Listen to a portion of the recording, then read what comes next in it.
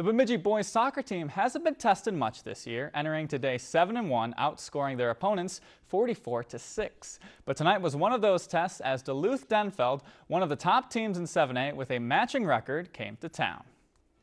Lumberjacks came to play today, striking early and often. 10th minute, Ethan Mock with the corner kick right to the noggin of Ben Hess. That gives Bemidji the 1 to nothing lead.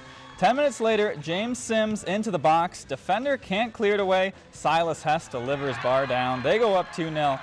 Still in the first, the cross comes over to Silas Hess, stopped by the diving keeper, his shot, but Logan Mitchell able to clean up the trash. Bemidji gets a quality win, 3-1.